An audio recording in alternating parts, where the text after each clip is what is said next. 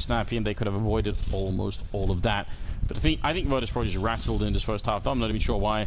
Sounds we are going to go. Yeah, it, I mean they really do. We are going to go to a quick break. We'll be right back after the second half. Stay with us.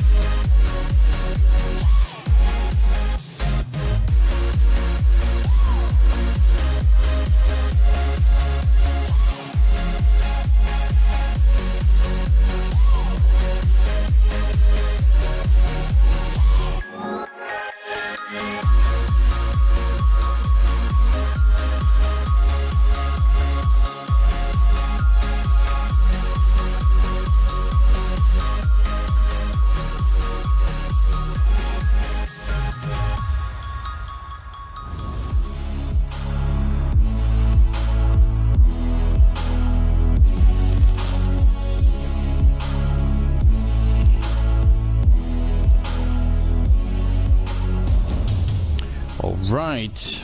Welcome back, ladies and gentlemen. Here it's the second half, and we have got Virtus Pro versus Heroic that you're seeing on your screen here. Now it's Virtus Pro instead, just I say that. But yes, um, very, very good job from Heroic. I mean, I don't want to steal anything away from them. I do think Virtus Pro are in an awkward place, but Yeah. Heroic have looked like a really good team for a very long time. Um, even before they picked up Nico and Yugi, they were looking kind of exciting in S Tag as well. Like they, they've had sort of a, a core thing going on. Even that team looked good. I think even when they had you know freeze and stuff, they were looking like pot- potentially promising team. Yeah. Now they've picked up uh, young talent, and this is this is just I think an interesting adventure. Uh, Heroic because they're sort of the third best team in Denmark at some point, but actually. If you look at the gap between these guys and something like North, it actually doesn't seem to be all that much. Um, Not at all, Like I would even wonder in a best of one what would happen if you put Heroic versus Stratas. That could be a really interesting game um, because it's so it's so crazy when you've got these best of one uh, situations. For Virtus Pro, things are looking very bad. They are three rounds away from being knocked out of this tournament. There's no other way to put it. Nothing has worked for them. They have tried to throw some interesting strats out there, but when it comes to actually taking the fights, they haven't had any luck whatsoever. No skill, no luck, nothing working for them. The only times where they look like they've got a chance is when Snax is clever enough to get them backstabbed, to backstab Heroic, right, and actually catch people unawares. But if it turns into a straight up fight where you need to get the entry kill, we just didn't see that at all for Virtus Pro in this T side. They were losing duels left and right, and while I mean that speaks to the individual level here from Heroic just showing up and getting multi kills round after round. And so now we're going into the pistol round here for the second half. Countdown has begun, and I'm looking to see what kind of utility we have because Virtus Pro also blew our minds with that pistol. They had four players running full utility, which was nuts. Here, it's a bit more what we're used to seeing. Heroic, it's only Snappi who's gone ahead and invested in the nades. Well, let's see how this unfolds. There is a pretty big stack on the B bomb site. Only Snax is lurking alone on the other side of the map. Virtus Pro have the manpower they need to hold this drop and plateau crunch. That should be coming in. Pasha in a good corner here. They don't have a Molotov in the pistol to clear him out. He's going to take Aztag, setting up for more headshots long range. They're just being funneled in Neo with a kill, and they get shot down immediately. Not this round, Heroic. Virtus Pro back with a new pistol round. That's big news. You kind of you're kind of sad at that point if you're Heroic coming out of drop if you have one flash. Yeah. It's just like, well, this one flash is going to have to be so magnificent that there is no place to hide from it because otherwise we're going to get one tapped. And sure enough, I mean, Pasha played it cleverly as well, hiding from the rest of Plateau. There was just no chance there for Heroic and the pistol. And now we have to see, you know, will VP continue this trend that we've been seeing at this event of teams being able to lock down that second round after the pistol? That's exactly what VP need right now. They are looking for the money as well. Look at this. Nothing but economy boosters on their side. Two MP9s, two UMPs, and a Mag 7. Careful now, Snax. Don't want to give them the advantage. Although, this is something that's worth pointing out. Snax is sort of a specialist at playing this whole A-long area. He's incredibly good. We've seen it with pretty much every weapon. I think even notoriously the Mag 7 has been lethal in this position. So I would actually say, if, if I was heroic, I would seriously consider not even going there. Just leave Snax alone and, and fight elsewhere on the map. Yeah, go for an explosive kind of round onto the B uh, onto B site before the anti-Russian nades really get into play for Virtus Pro. They have to be careful here, though, with all these SMGs, man. VP are going to funnel, exactly. They're just going to farm money, and byali finds the headshot on Madi. Snax, one big spray, gets the second one as well. Yep, sure enough, and that's the bomb delivered to his feet. The rest of Heroic are just going to try and spring on this, see if they can't find a kill somewhere, and sure enough, they do. Two kills, in fact. But still, the damage is done, and Pasha, you don't want to give Pasha a kill right now. Boom! Snappi, that's a huge one. Is happening right now. This I mean, they're in drop. They can't really get out. Why are you jumping in to fight them? Now it's a 2 on 2, and admittedly, Heroic have almost no health, and they also don't have the bomb, so this should still be pretty straightforward in terms of Virtus Pro winning the round, but. That, No. uh, you know, you you want this round to be building a tiny bit of confidence, right? You want to come out and say, "Listen, it's all fine. We're going to make the full comeback." And now you lose three players to just pistols. Taz is going to get the last two in, but that's kind of unacceptable from Virtus Pro's point of view. Just getting uh, getting a bit aggressive there. But byali's grinning, and I think as far as uh, VP are concerned, if byali's got a smile on his face, things can be looking up. He hasn't Yeah, exactly had a terrific first half, and they do rely on him to get the headshots. Is it like uh you know, good moods kind of grin, or I'm losing my sanity? You know, like I'm not sure. It looked like a chuckle, you know. It looked like a a good mood. I mean, definitely you would have lost it already, but at least you got the start. Oh, that's better. And no armor, so Snax will go down, but he got a couple of kills in. Again, without the armor for Heroic, this should not be much of a fight at all. Might, I mean, should be a 13-5 scenario here. It's absolutely possible for Virtus Pro to make the comeback, and especially because they have, you know, the double AWP capability if they need it. Yeah, That could be interesting. uh, there's plenty of options here for VP on the CT side. I'm going to be very curious to see how Heroic approach the 19th round when they're able to buy. What is going to be the call? And Pasha, once again, getting overwhelmed. Not a single kill for him. He hasn't made that shotgun work in two rounds running versus anti-ecos. That's frustrating if you're Pasha. And we're into a three on three now.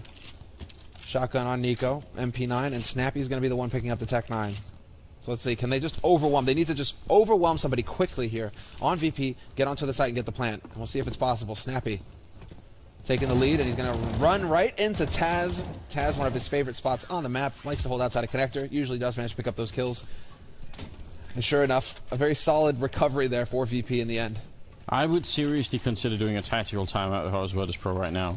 I, I- everything rides on this. They've got the double up. They've got everything. Like, I would really try and take a deep breath because this is, yeah. If they can't win this round, then Heroic have the money. They start to get close to, to winning the whole thing. You're going to be economically destroyed as well because you've been losing too many rifles in the previous rounds.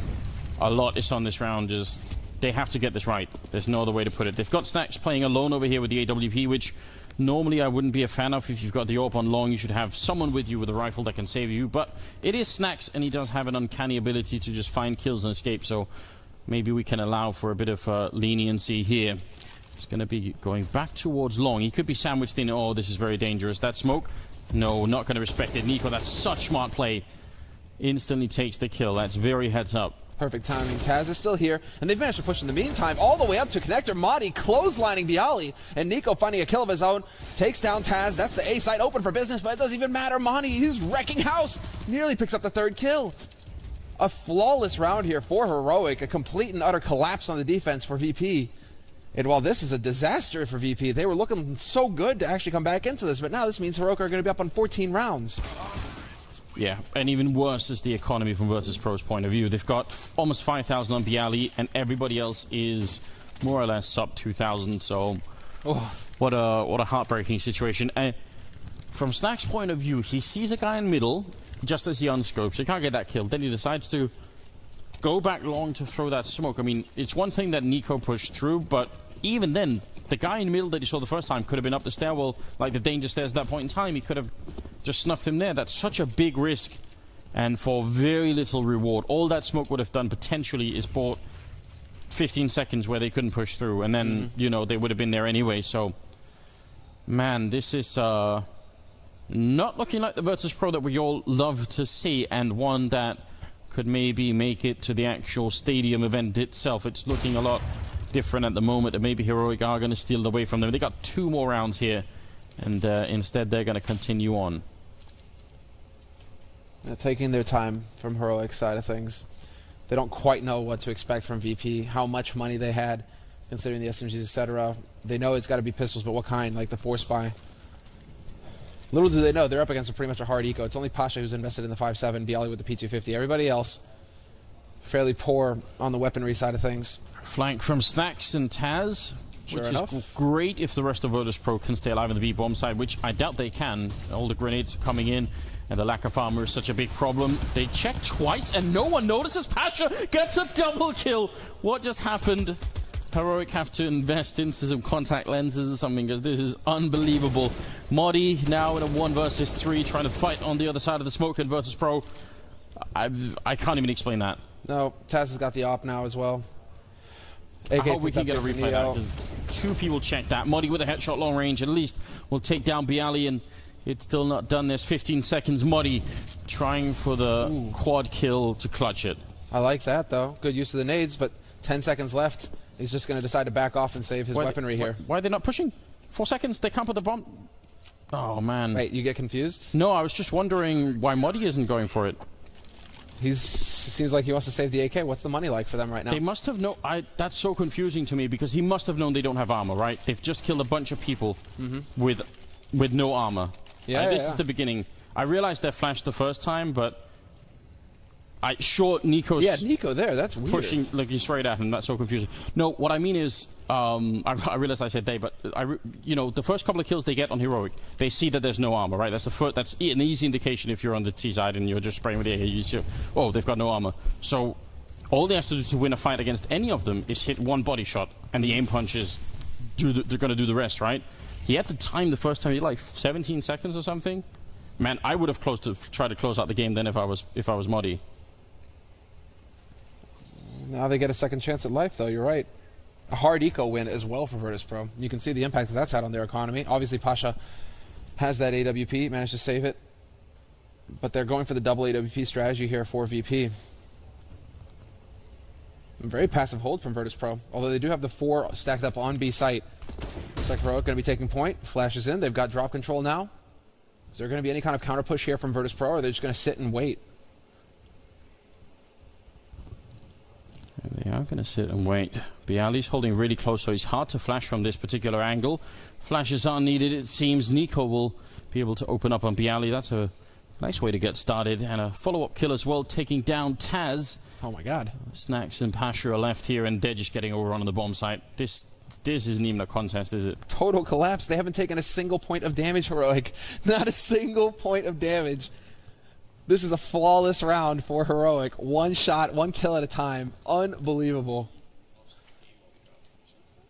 Jeez. And now Snax. Well, Snax, I mean, save the op, but it's going to be a battle now. Nine rounds in a row for VP if they want overtime and their tournament life on the line, no less. This is an un I mean, an unreal, an uncredible. Let's go, just go ahead and like put the two words together. You know, an like incredible performance here from Heroic. Yeah, I. If you can win around like that, but I mean, this is the problem, right? It it seems to just sp- spark absolutely no sort of a comeback. Snax, yeah. Where we belong, Uh, this is where Heroic put them. yeah, something like that. Very upsetting. I think a lot of people were. Well, I certainly was. Um, I think I've said this in interviews and stuff, even going into the match, um, that this was. I thought this was a temporary thing from from VP's point of view. You know, online games, I don't really care about them. I, th- I think uh, I think Virtus Pro don't either. But LAN, a big tournament like this one, one of the biggest that we have in Counter Strike, and they just cannot make it work. It's been busy for for VP. You know, it's not to make excuses, but two of them have got newborn kids. Uh, you know, that's uh, that that's going to make life pretty difficult to, to actually get a good solid prac in. I mean, you know, Anders. Yes. I know because I worked with you at the time when you had your kid. Definitely know. It's uh, it does complicate matters.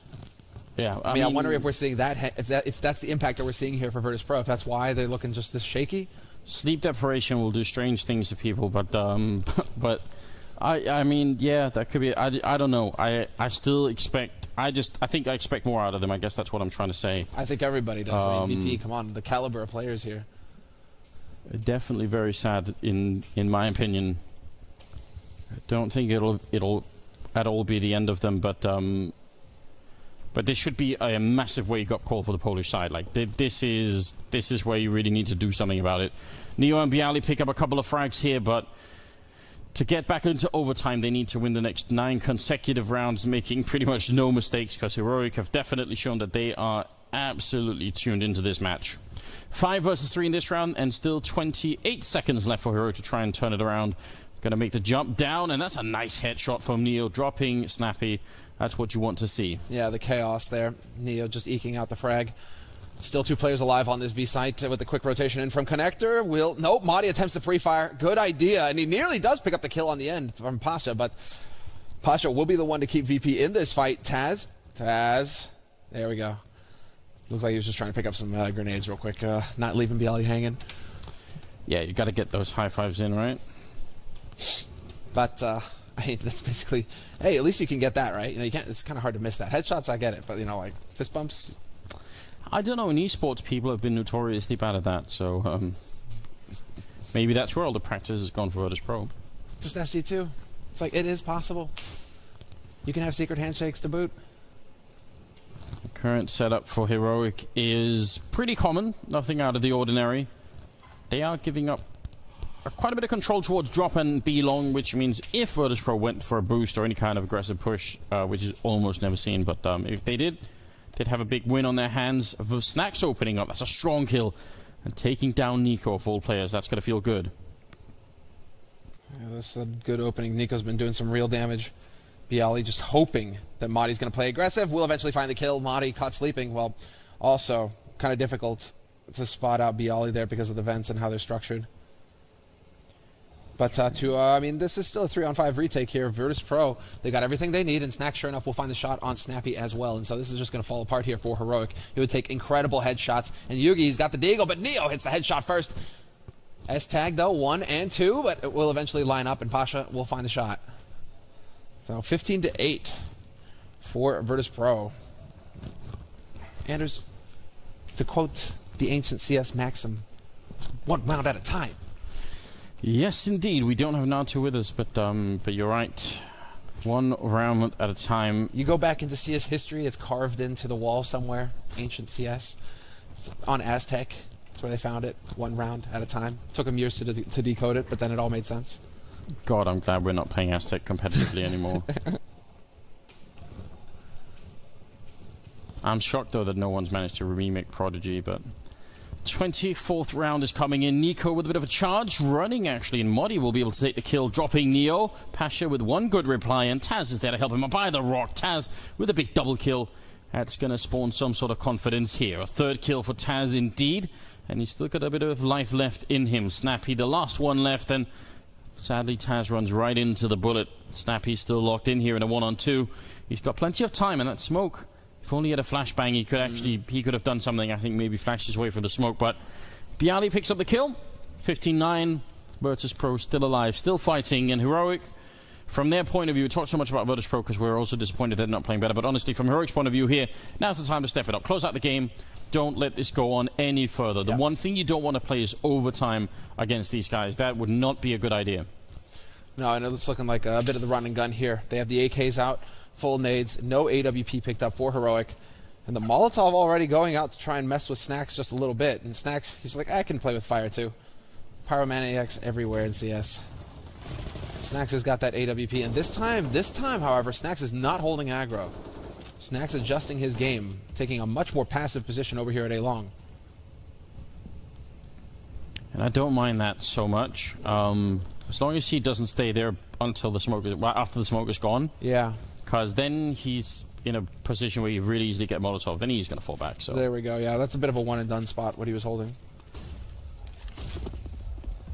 Heroic setting up. They put that forward smoke in so that he, they can't easily get sniped. Snax is jumping on the other side. This is absolute madness. Taz is nowhere nearby to help him. I mean, if he gets flashed or run down or anything like that, or just sprayed through the smoke, it's done. Taz is down in the middle, yeah, so very dangerous. Now he's fallen all the way back, and it seems like he's actually swapping position a bit with byali, who's now going to be in the back of the bomb site. So they're playing for the late round here. They want Heroic to fall into that trap of thinking, listen, we cleared out Taz and Snax and that's it. There's no one else on the bomb side. And then boom, the alleys. There's Taz going to be going down. Snax, can he buy time? Only 30 seconds here. Heroic don't realize yet, and they don't have any more Molotovs to check the back corner either. It's a shot on NiKo doing a lot of damage. And byali waiting. He can win this round. Just needs the right angle, and there it is, taking one. The bomb's right in front of him, and he's not going to be able to get that kill. One more step out, and he would have he would have done it. Insanity. Three players on the A site for Virtus Pro, and yet Heroic still managed to just bull their way onto the site. No fear whatsoever. It's all on Pasha now, 1v3. And they've got perfect anti-plant, but anti, uh, well, yeah, there's no anti-retake. There's no retake actually at all. There's no hope left for Pasha and Virtus Pro. They're out of the tournament. That is it. VP have not picked up a single map in this group stage. 0 and 3 for them. A disaster. Modi ending on 24 kills with a triple at the end. And I didn't catch NiKo before he disconnected exactly how much he had, but uh, overall, just a really, really great game from Heroic. Very impressive. And Virtus Pro trying to build some momentum at the end, trying to see if they could find a way back into it, and they just could not. Oh, man, all of the Polish. I mean, there's the whole Polish cheering section that's going to be here again. Yeah, they're gonna have to uh, they're gonna have to find someone else to, uh, to VP are just not able to make big stages right now. This has not been their year so far. Absolutely crazy. We will be back with analysis of all of that. I'm sure the comment the analysts will have quite a lot to say about this game as well and about Virtus Pro in general. We'll uh, yeah, be back after a quick break. Stay with us.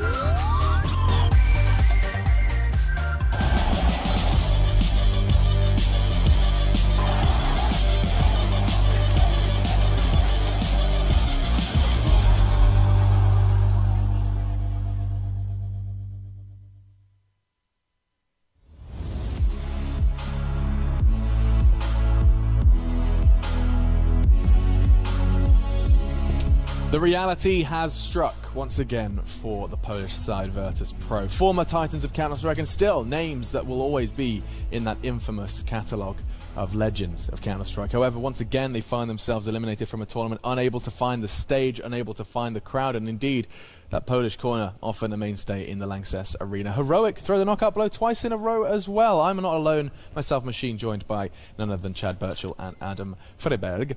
Yeah, Is that right? Almost. Yeah, I know. really. I What's like- the like actual uh, pronunciation? Um, probably Freiburg. I guess in, Oh. in English, yeah. Oh no, no, we wanted the Swedish No, the one. Oh, Fredberg. That's exactly what I said. Missing Yeah. a few letters in there, isn't he? We Yeah, don't know. Freberg. Yeah. Okay, Alright, anyway, enough. pronunciation aside, how do you say they've done it again in Swedish? Because look at this, heroic. First in Yeah. Katowice, they take the home crowd away. Now they take the Lanxess away from Virtus Pro. And rather convincing fashion, Adam, what stands out to you in, in the Danes doing it again?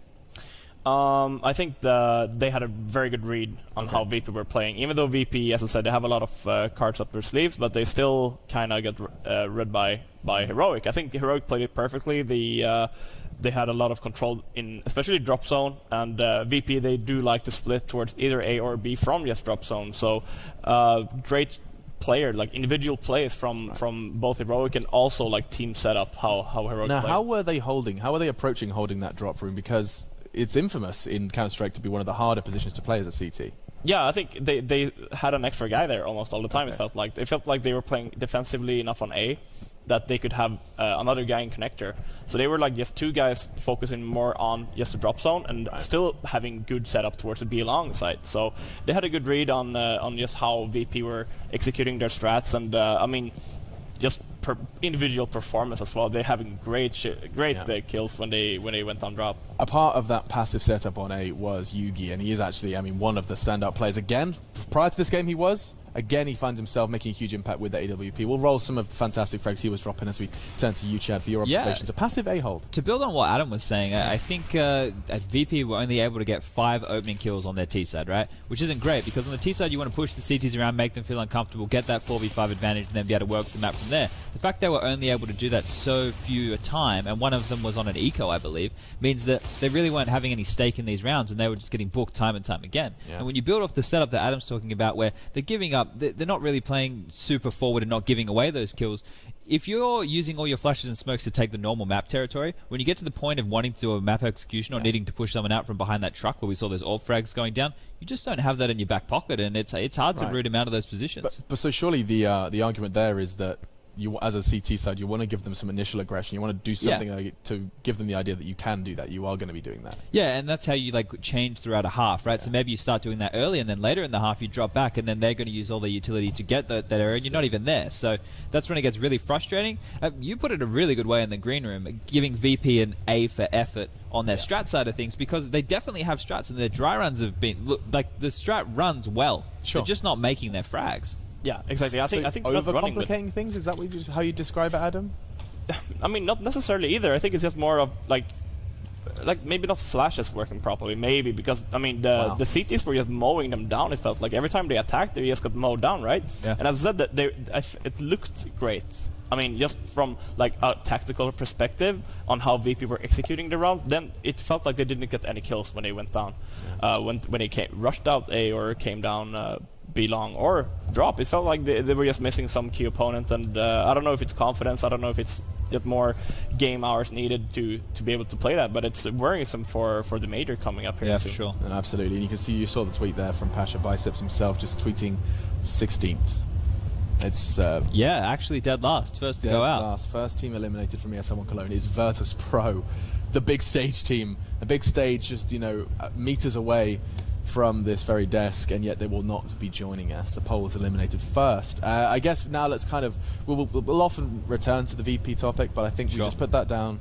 We pick up that heroic ball for a moment and give some credit where credit is due because this team lost a star. A star player that often our analyst desk would be filled with. valde is this, valde is that. He's probably going to get stolen at some point. Well, he sits on the bench for now, and Heroic have done it again. They've faced Virtus Pro and thrived in a rather convincing 16-9 fashion. And it wasn't even his replacement, you know, getting the frags. It was Sure. Nico, JUGi, and uh, Modi, the old Yeah. dog, you know.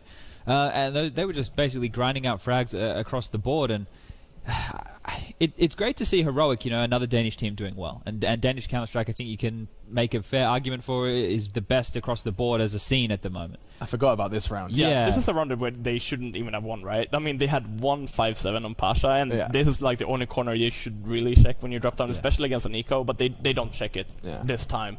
Pasha is standing there, they're getting around. They shouldn't have won, kinda.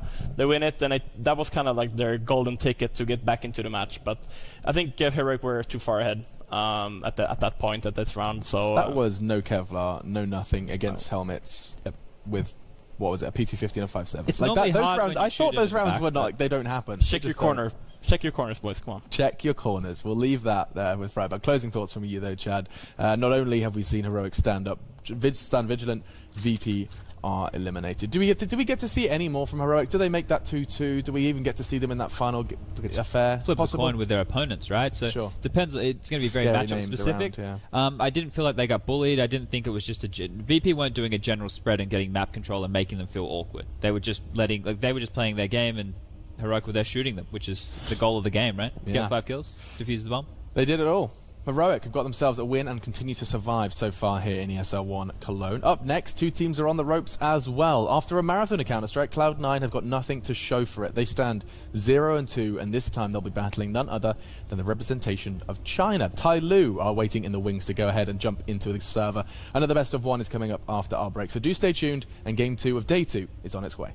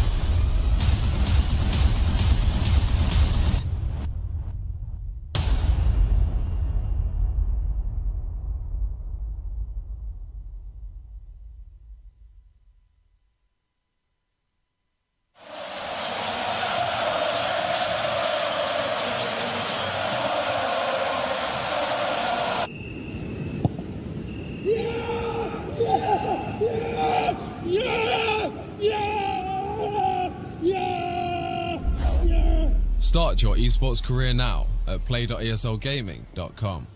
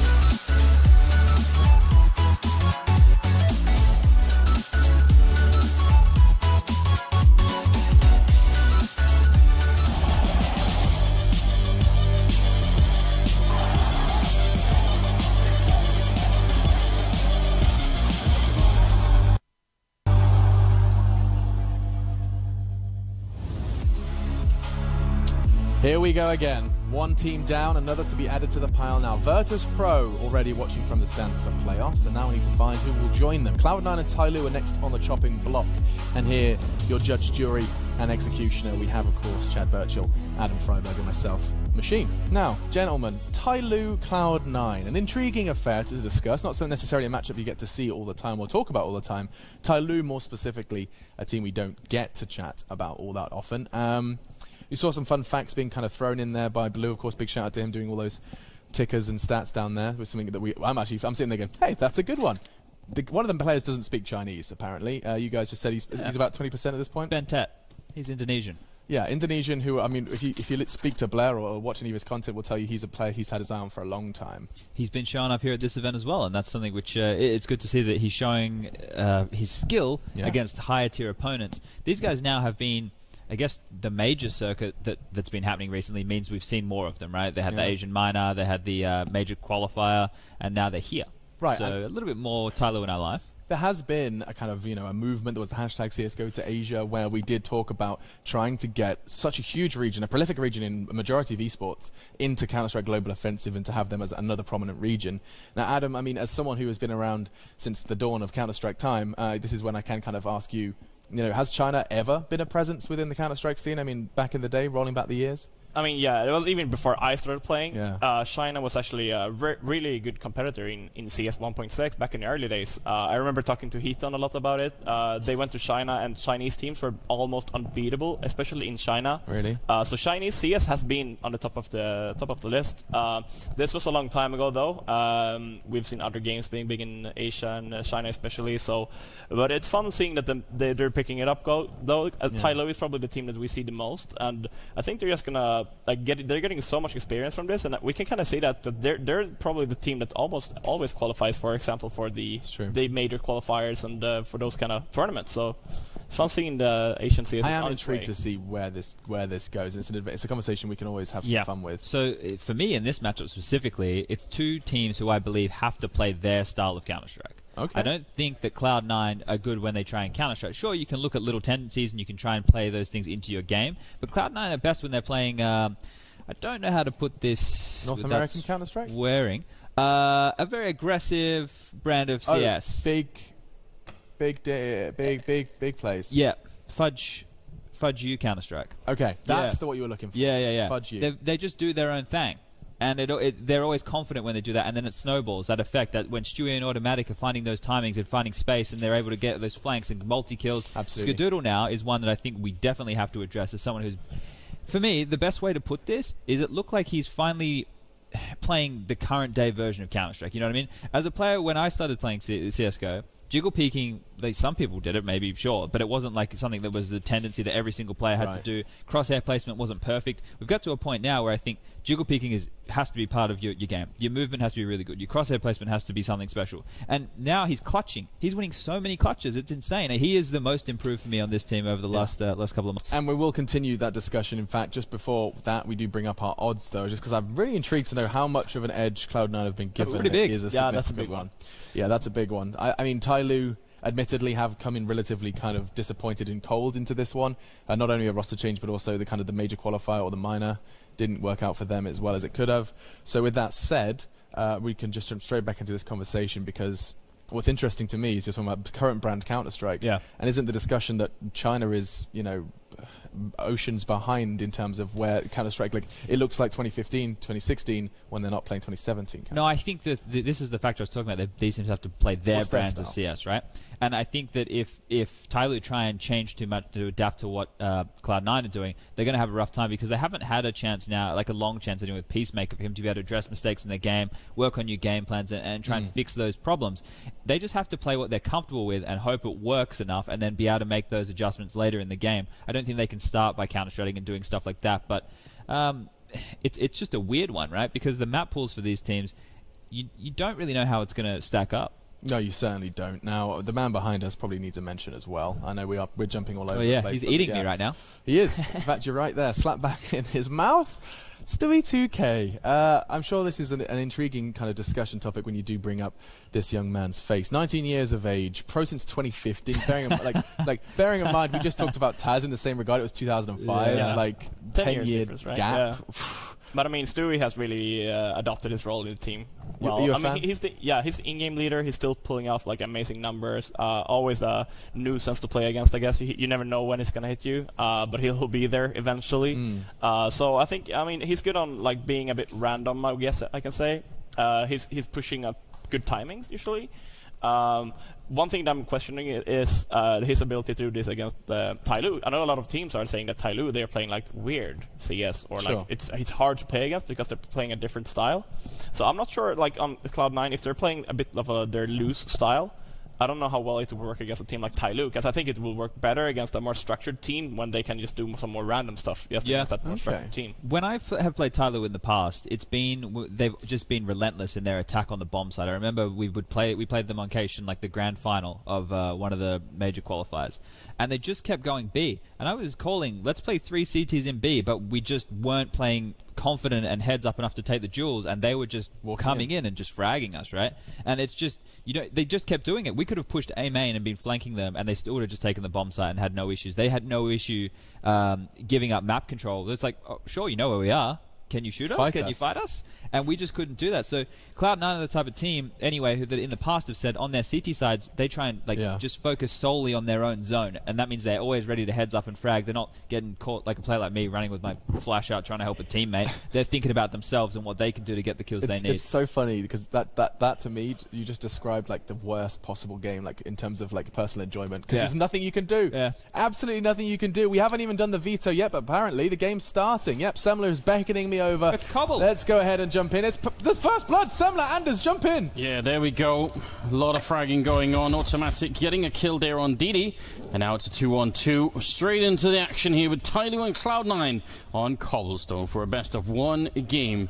Let's see how this all plays out. H said and Mo are both up on that A bomb side. And they've seen the bomb right in front. Are they going to go and challenge it? That's a big question. He said, looking to see if he can get around the corner, and he's going to get instantly with the frag. Uh, Automatic goes down, and Tyloo picking up the pistol. Let's go, boys. Let's go. Pistol round here for Tyloo. And, I mean, to be fair, both of these teams, a lot of individual talent. That's pretty much what Tyloo thrive on. That's what Chad was talking about on the analyst desk. They've got a lot of heavy hitters here on this team. Question is whether or not they're going to be a cohesive unit. And that's where I think Cloud9's strengths lie, is the fact that, yes, they have some heavy hitters, but they're also much more of a unit. They play together. They have better teamwork than Tyloo. So it's going to be that uh, we're going to have to see. Oh, no. Well, looks like we already had a. Well, we're, going to have plenty of time to talk now, Anders, because uh, we just got to disconnect.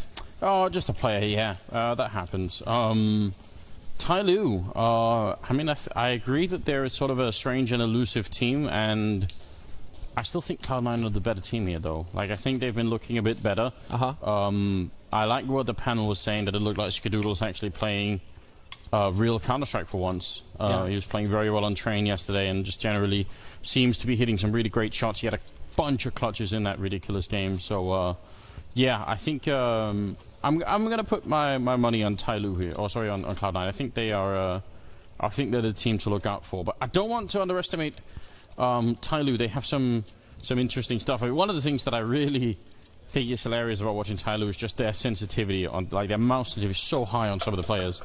Um, I think somebody and DD both have like a really high sense, and just it looks hilarious to, to when It's yeah, it's weird when you watch them play. There, there are a few like North American players who had pretty high sense. Hiko was one of them who actually had much higher than the others, but um, it's not a common thing. Really, you're you're looking at just having low sense to really have What that happened to clean Professor Chaos? aim. Oh man, yeah, Professor Chaos. You're right. Holy hell, watching him play was just like motion sickness. Yeah, and he was AWPing as well, wasn't he, half the time? So Mhm. just AWPing with 20 sensitivity.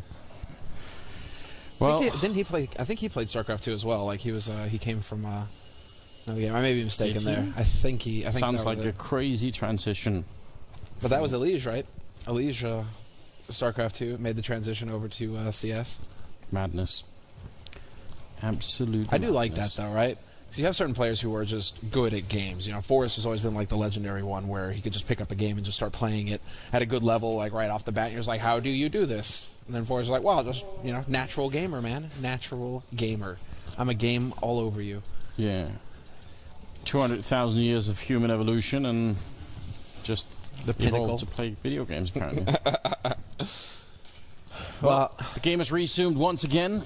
If you uh, missed the beginning, it will be uh, Tyloo with a one round lead here. Cloud9 unable to get the bomb plant down in that round, so they're going to be buying into this one with quite a bit of utility.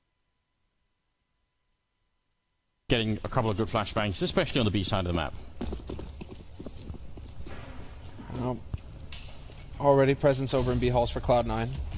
Skadoodle, no surprise that he will be, whoa, no, not quite managing his economy as much as I thought. He's actually bought quite a bit. He dropped for a teammate because he's got a Glock. So interesting here. Will be Stewie with the raid boss approach. Tec 9 Kevlar. And while Cloud9 right now, they're just patiently waiting to see if Tyloo do what Tyloo do best, which is go aggressive. That's what's cost Tyloo so many rounds in the past. They just take unnecessary risks in situations that favor them, where they just need to sit and wait, and instead they're out there looking for fights. Right now they're doing a good job at uh, staying pretty close. I like, well, now that Bentet is moving up towards the actual plateau, but they were having a pretty tight little circle going on down there towards the drop. Stewie's made his way out, but there's a smoke in the way. He's not going to care much, just gets flashed through, turning that back to somebody, and he'll pick up big, two big kills. Bentet eventually drops DD, still on the site to get the kill on Skadoodle, and that will be Tyloo winning a second round, only losing two players. Definitely not the end of the world, crushing that from Cloud9, and no bomb plant either for the Americans. Nope. So once again, you're going for that kind of force buy. You at least like that's like there's a checklist, right? Bomb plant, yes, good. You know, a few kills, even better. Now, of course, you win the jackpot if you actually win the force buy round. But you really do need to at least get that bonus 800 because now you have no Kevlar. You don't even have a flash grenade, not a single flash. Somebody should be taking the hit here and just investing $200 in that flash to give yourself even a small chance of getting out onto that B site for the plant. Because right now you've got three players who are ready and waiting on Tyloo. And this is going to be looking a bit brutal. Yeah, you, maybe if you're really lucky, you can, you can run someone down with a Glock, but more than likely, oh well, at long range headshot, no head armor for somebody. That's just such a big risk. Why would you do that? just as we were talking about the Glocks being largely ineffective, when they don't have head armor, it's much better actually. We just, a perfect illustration, DD did have head armor and he's just down to 53, no trouble at all. 5 on 3 here, and I'm not sure why Cloud9 are delaying this so much. Surely it's worth it to just get on with the game. Let's get it on. Let's get it on. Well, there you go. One for one trade, good enough. And then Bentet's just like, nah, I don't think so. Double spray on Stewie and Ska. And it's going to be a 3-0 lead now for Tai Tyloo on the CT side of Cobble. Cloud9 finally can buy, but there was not enough money for Skadoodle to go for the AWP, sadly for him. And sadly for Cloud9, because we've actually seen some pretty impressive rounds out of Skadoodle. With uh, that AWP, I mean, yesterday versus Navi, everything was pretty much batshit. And, uh, well, Ska was a big part of that. Lots of 1vx situations and some flashy off plays as well. Let's see how they do here.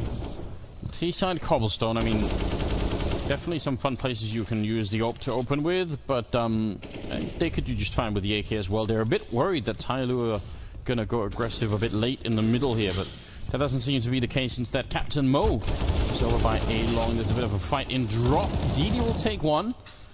It's still a pretty good trade here for Cloud9. They get the kill on HC and see what they uh, they can do next. Captain Mo sneaking in. The timing is almost perfect, but Skadoodle dead back Stewie up, and going to be three versus four now. Yeah, advantage for Cloud9. Rotation's already coming back over towards this A site as well. Cloud9 may have missed an opportunity, but it's only a single player over here. It's DD. He's all the way at the back of the site, so he's got that going for him, but they still have a Molotov on Stewie, and we'll see where he decides to use it. Nothing has got the angle now, and he spots him out. Easy kill for nothing. Hit that shot every day of the week. And that leaves it two players here alive for Tyloo. Stewie in position to catch them rotating, but somebody's there to be the hero. Manages to find the kill just before Stewie was about to assassinate his teammate. Instead, it's only a man advantage now for Cloud9 with that bomb rotated all the way back over towards B. Tyloo have no idea what's going on now. No, they really don't, but they might have just heard that flashbang behind them, so that should be a bit of an indication that something is up. The bomb will certainly go down. Somebody in Bentet, if they pick up this round, that would be a huge clutch on their part. Long range spray, somebody getting a headshot on Skadoodle, who is being way too exposed to that one. It will be a good spray from Shroud. And Bentet in a one versus two trapped. That's a great grenade right in Shroud's face, and he's still pushing up to it. He's got to be quick about it, and he's not quick enough. Nothing will come with the flank, and Cloud9 will win the round in spite of some shaky movement there. Tough break there for uh, Bentet. That was a filthy nade. If Shroud had just been a little bit lower in HP, what a different situation would have been because Bentet knew that the had a man at his back. So that information would have been key. And the bomb wasn't even planted for the man rotating over from A as well for Cloud9. So sometimes, you know, Lady Luck, she's just not smiling at you. It's not going to be a day, and Cloud9 are on the board, not wasting any time at all. Double AWP setup here for Tyloo, though. They're throwing chance at the win, Anders. They really are putting all of their economy on the line here in this round. And I kind of like it. Definitely an aggressive buy this early on, especially when those two AWPs are being supported by two FAMASs and one UMP, and very little utility outside of that.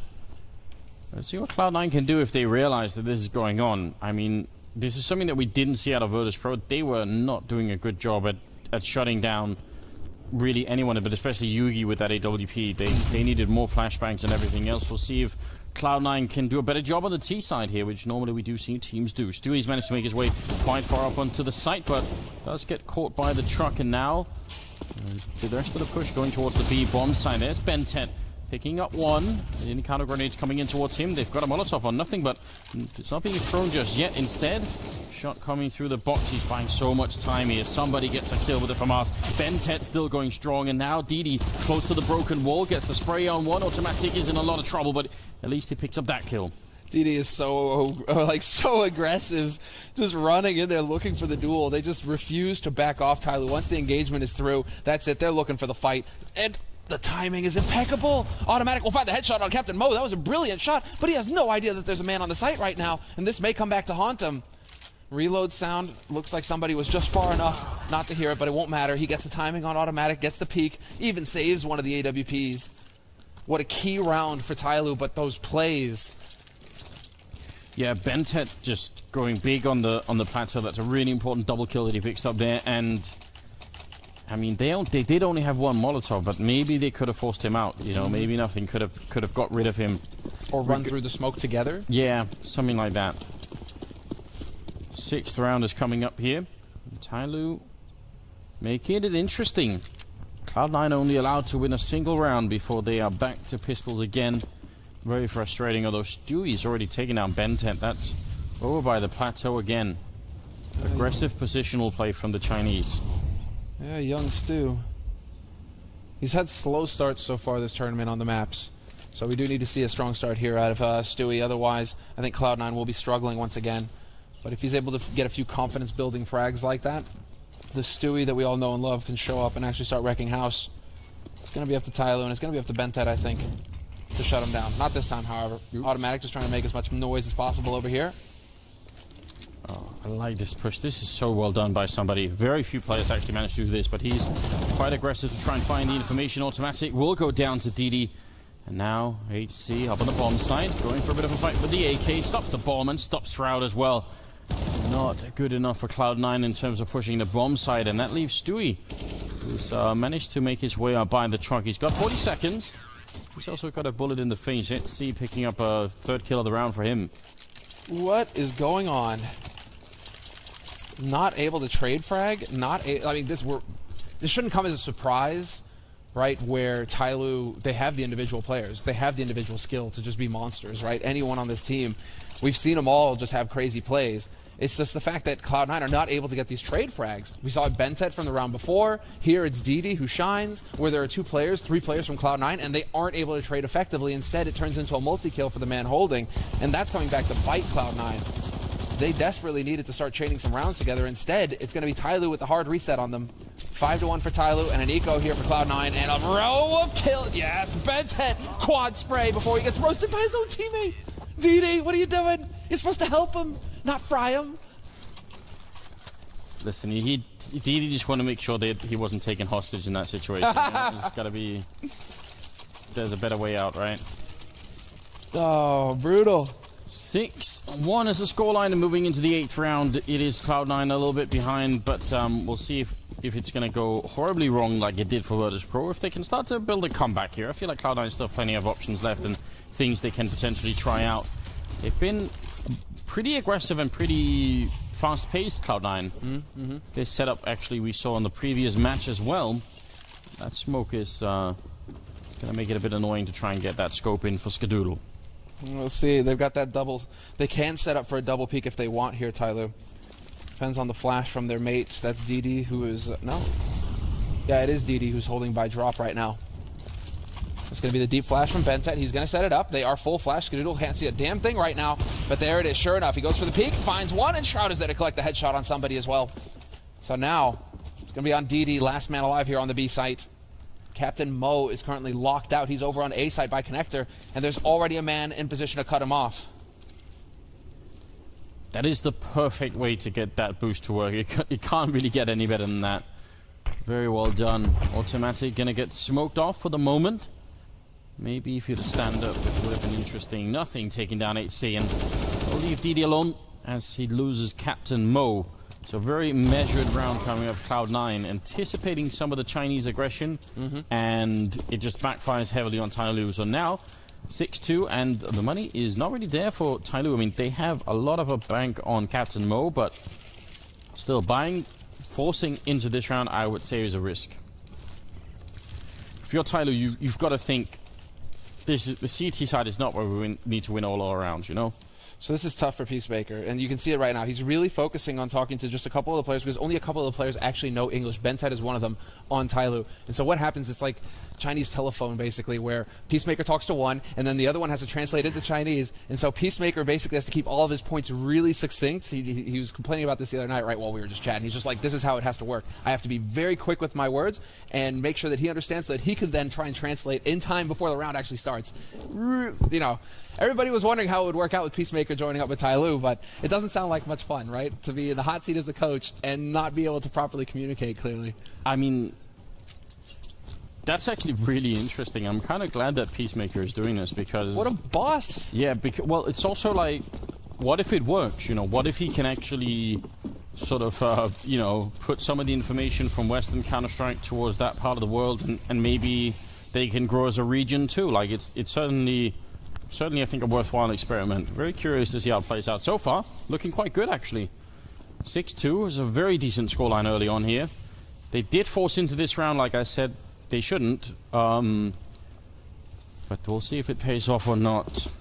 I would be perfectly happy if I was Tyloo with picking up like eight rounds in the first half. Mhm. So if you just save here and then you go for full double up next round anyway, then more power. No, really late the smackdown. Ooh. A little bit of a party favor there left by Bentet. Just does a little bit of damage to automatic. Not too, uh, not too crazy with the HE.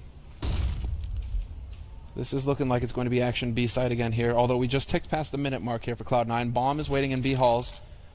And they are setting up once again to, to get control of Plateau for Cloud9. And things have been working out pretty good for them. And this is going to be perfect. There's only two players alive on the B side right now, Anders. Not a whole lot of defense. And nothing trimming the defense on A as well. Gets the kill on somebody.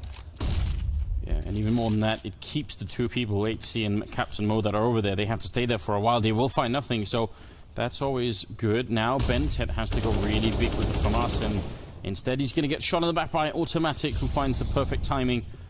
And HC and Captain Mo said, don't do this. Don't go for the retake. It isn't worth it. But the dreams. Yeah, but even with the dreams, it's just not worth it. They've they spent all of their money this round. I think I think that was a mistake from from Tyloo. Um, listen, they're playing on the less favorite side here. Mhm. If they can if they can pick up, yeah, seven eight rounds, that should still be pretty good. Especially because Cloud9 notoriously. Uh, are not very good at playing the CT side, in my opinion. I think they do their best work on T side, where some of their more aggressive players, like Stewie and Automatic, could be allowed a lot more room to work with. And on CT side Cobblestone, those players are going to have a really hard time finding an outlet for that aggression. It's so hard to play aggressive CT side Cobble. So, yeah, I I don't know what the urgency was for Tyloo to bind that around, but I'm sure they had a plan. Now they've got no money though. It's that trap that you fall into. You don't want your opponents to get too far ahead. Thinking, okay, well, if we could just pull this off.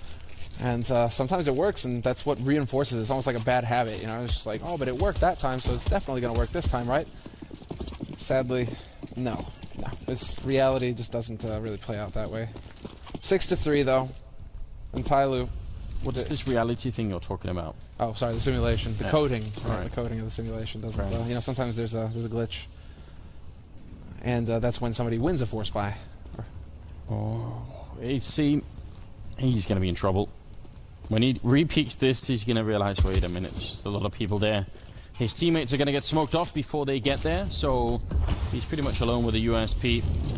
Lots of grenades raining in. Good hit from Cloud9 here. This is uh, pretty well thought out, and um, they're using the grenades to make sure that they don't sort of run into any kind of craziness. And looks like Stewie is in charge of picking up at least a couple of kills there, leaving Bentet alone with an M4, making his escape.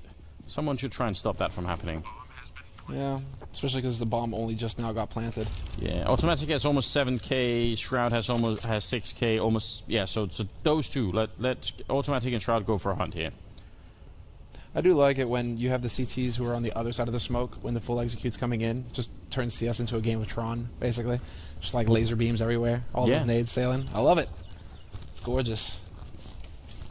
They really aren't hunting. I mean, nothing is sort of sticking around. So, uh, this is interesting. Bentet, I wonder in his position, he's actually got the most money on the team, so he could probably. I mean, not, I don't think they're going to be able to buy next round anyway here on the Tyloo side, or at least it would be, it'd be really, really tight if they did. But maybe he could just buy armor, and then he has the M4, and then who knows what happens. He could be the hero. I mean, he's got the aim for those kinds of plays, especially if they go B plateau again. Him having a gun can make a big difference. Uh, they are going to buy into this round again, Tyloo. It isn't the end of the world. It's just I really want them to have that double up capability. It looked like Bentet was doing good job on the plateau.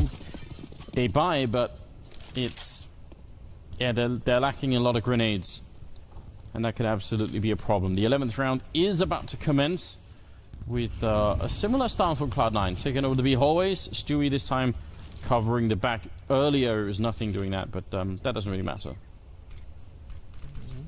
Ooh, bringing that up over here. Last problem, problem, like I'm thinking, is there a scenario in which Bentet could kill Ska and pick up the op? But uh, Skadoodle is usually the last man onto the site, which is why he's usually left in a lot of 1vx situations for Cloud9.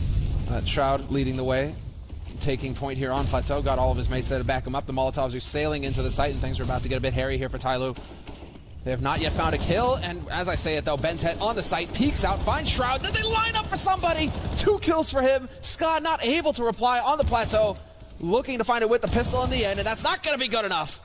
Beautiful work, what a hold for Tyloo.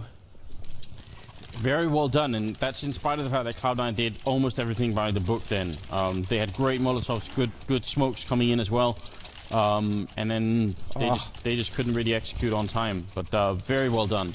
If you're somebody right, that's one of the all-time best feelings in the world. If you're playing CS, yeah, you come through the smoke, nobody's looking at you, they lined up, you just, you just got to grin.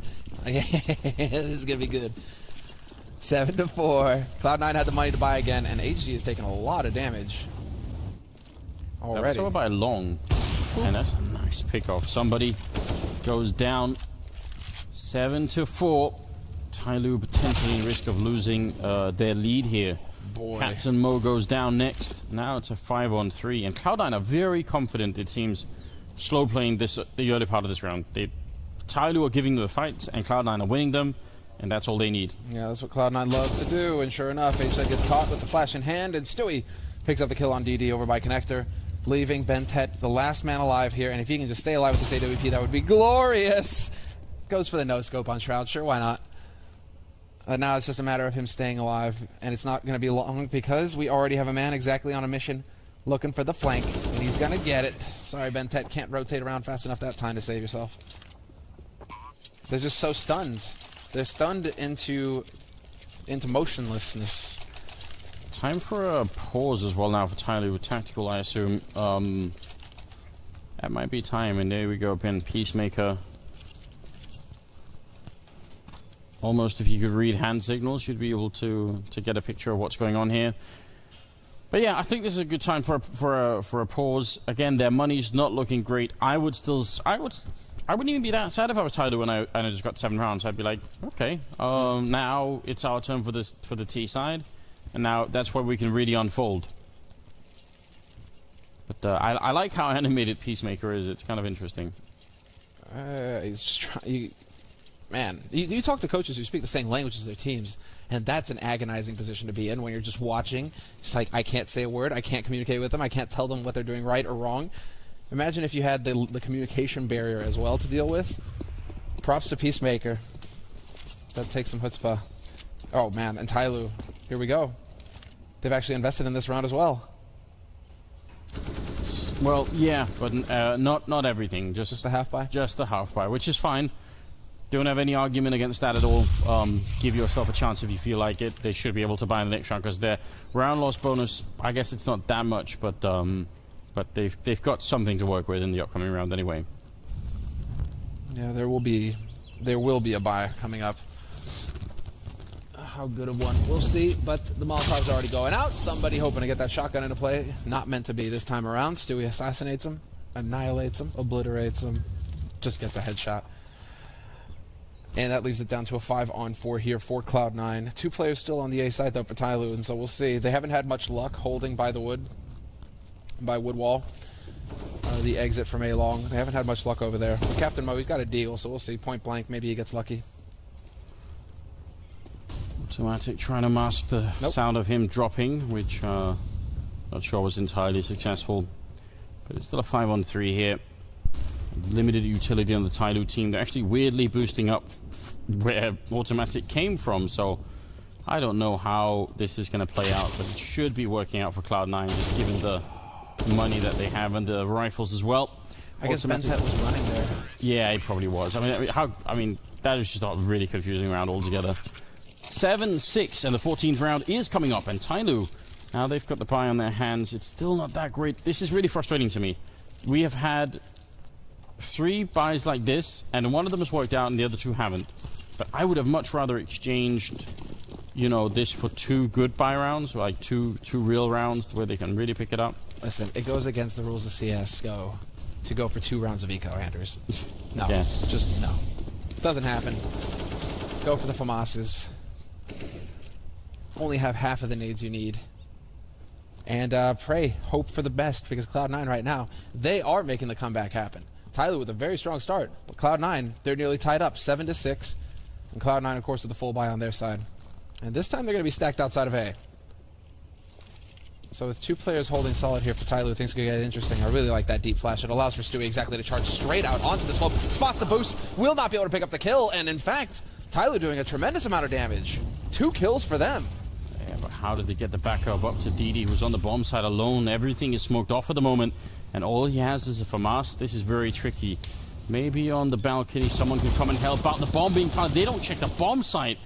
Cloud9, that's unacceptable. Again. They had the time, no problem. They're going to lose round because of it. That's a big oversight on Cloud9's part. Well, In what world do you run up and just start planting the bomb immediately? Yeah. That's definitely an issue. 15th round is coming up next, and Cloud9 have enough money to buy, plenty of money to buy, in fact, there's this one, including the AWP on Skadoodle. There's one on Captain Mo as well currently. Mm -hmm. Let's see. Tyloo, I still think it's great.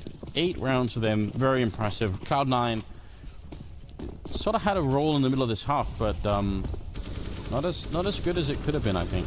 Just some unforced errors that are end up that end up costing them quite a bit here. Just like that last round right there. That is just a painful one. Bit of a mistake. Nothing's going to be kicking himself they didn't win the duel. A lot of damage going out on the Shroud, though, who took point on Plateau. It looks like he's asking if automatic maybe he wants to take his place. Bomb is still outside of A, however, and they're looking to see if they can't find anything over there. What's this? Was he asking for a boost and Shroud was like, no? Nah. It's hard to say, but it was unfortunate for Shroud because he was actually just inside the smoke waiting, so it was just a blind shot I think coming out from somebody. HC will take down Stewie. And now we're off to a bit of a start here. If Tyloo wins this ninth round, I would say they're looking pretty good to maybe upset Cloud9, which I think would be a bit of an upset. Tyloo definitely not with the same amount of experience. Automatic right on the other side of DD. DD with down to 45 seconds here, and the bomb is still not being picked up. It's all the way by Shroud.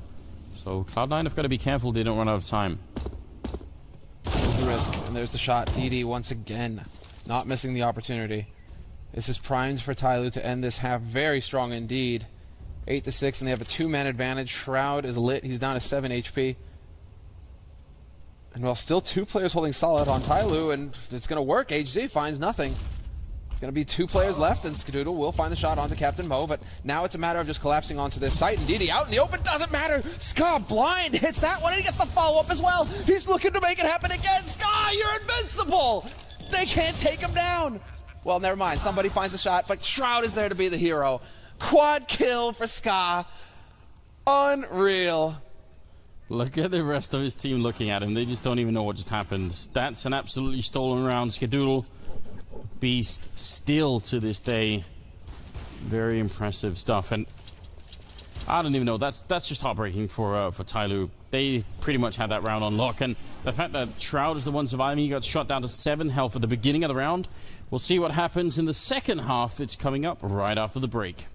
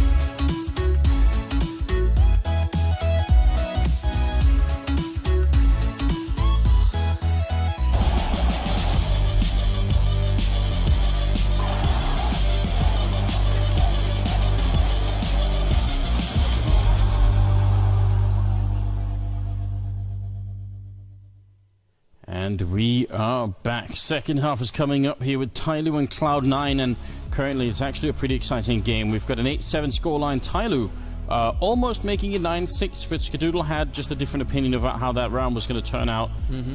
I mean, pretty much the best, uh, the best round of the game, I think, in terms of excitement.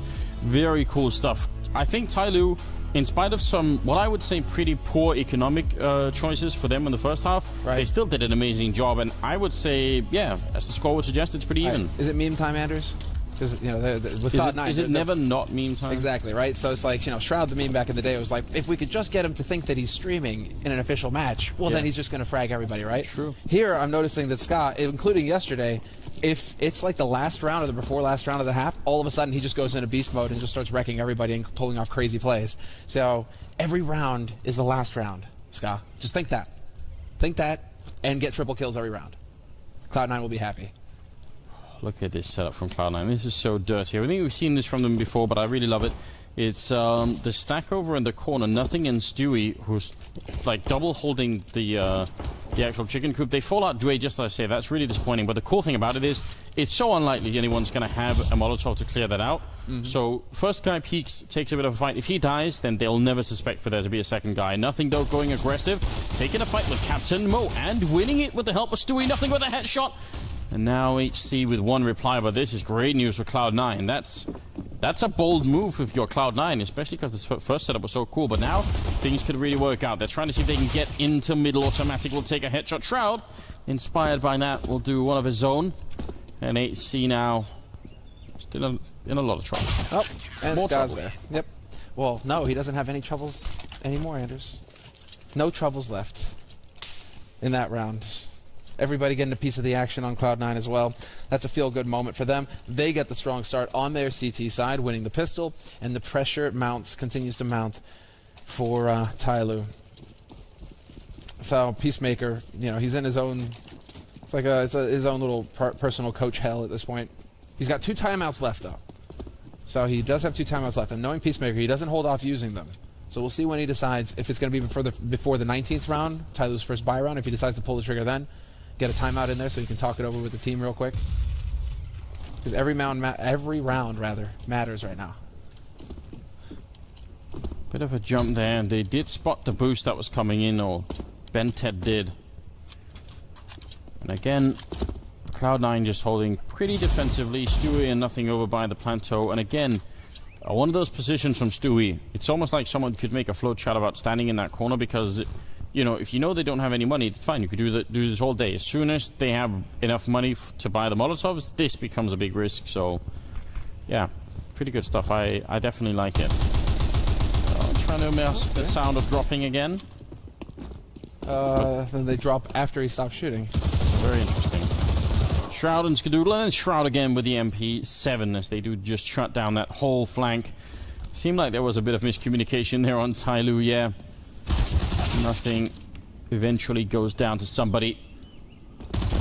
Nice uh, peek from Stewie. He got tired of waiting in the corner, apparently.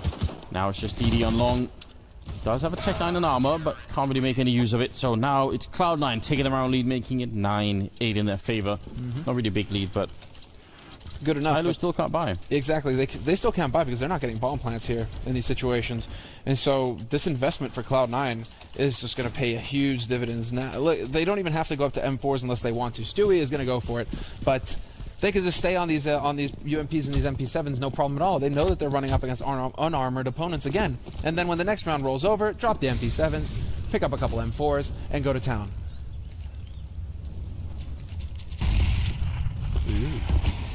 Yeah. Very similar kind of setup here for Cloud9, which is uh, just fine. They have swapped it out a bit with Stewie holding a bit further back. This time, nothing but a great spray. Quad kill for him, and there's the instant ace. That's so incredibly quick. I mean, it doesn't quite beat the record, but um, yeah, that was only a couple of seconds. Talking about talk about making money. Quad kill with the UMP. Let's go. Filthy rich. All of that in one mag as well. That's unbelievable. Just spray and pray. Big return on investment.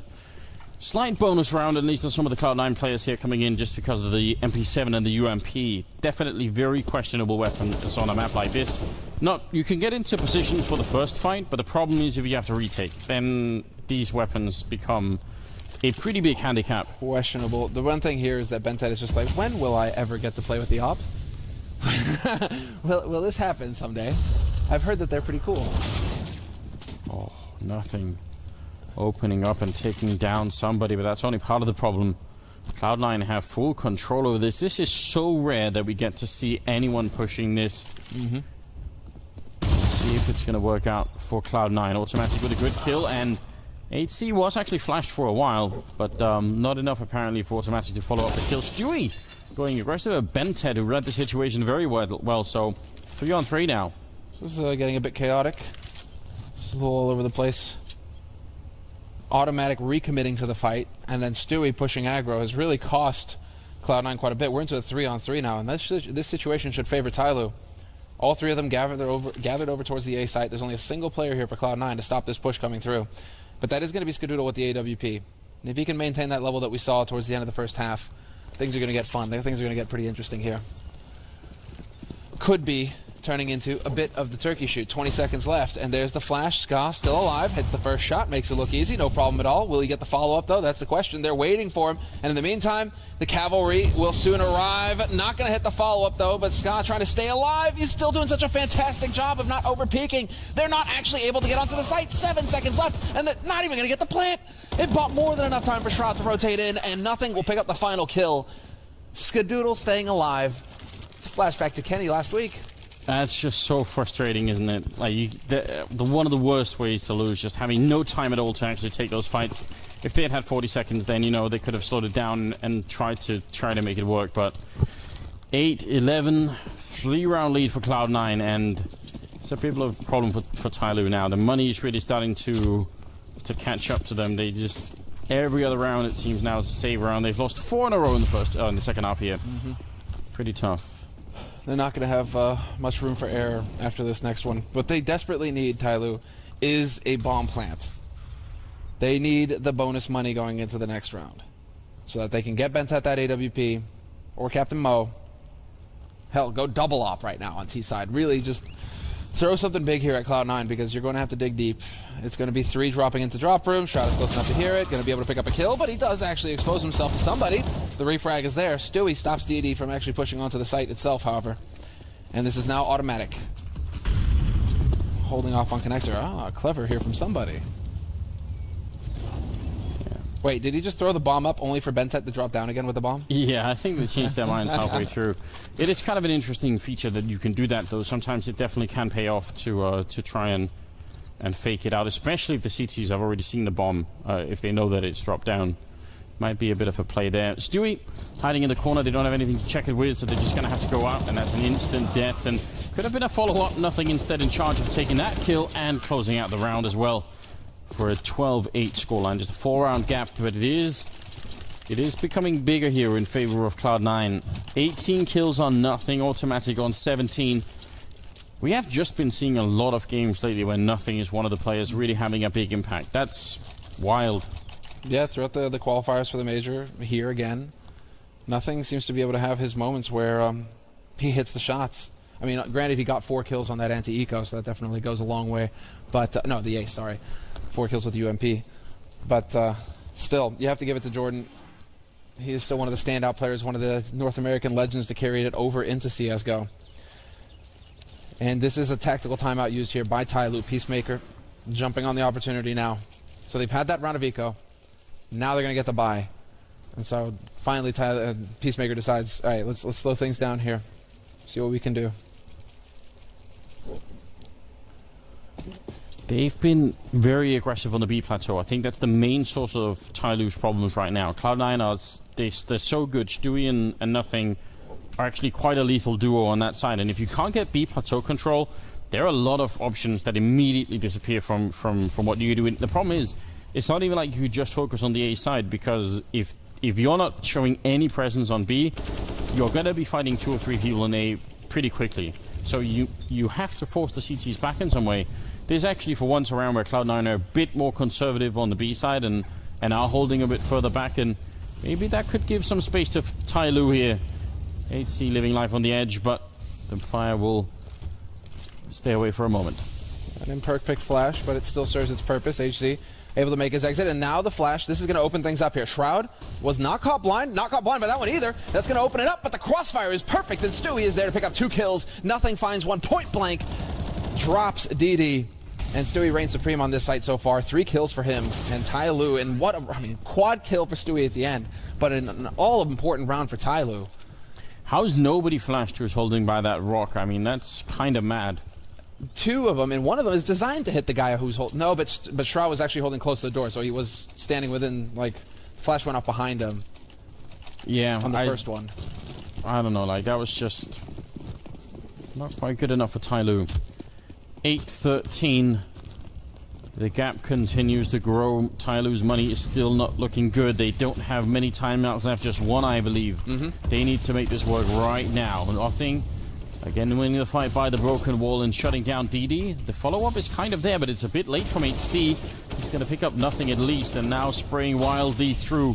Eventually, automatic goes down to Captain Mo. That's actually on the other side, where the bomb is making its way up with Bentet as well. So Cloud9 just going to give up on the fight in B and say, let's just go for where the bomb actually is. Skadoodle holding. Bit of a gap shot, but he actually can't hit it either. Looked like maybe he had the chance for it there. Shroud goes down, and that leaves Stewie walking out onto the site. HC coming in, trying to see if he can sandwich him. Bentet has to wait for him, and Stewie if he gets the timing wrong, he's going to get shot in the back. It's not that far away now. He's been spotted. Bentet buying time for his teammate. That's very good instinctual play coming up. But, oh, it's a team flash instead.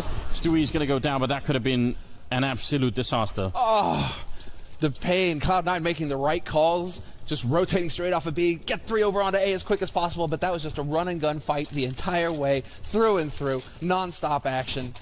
But for it to be a team flash, and that's how Stewie spots him out, if that team flash doesn't happen, Stewie might get the kill there.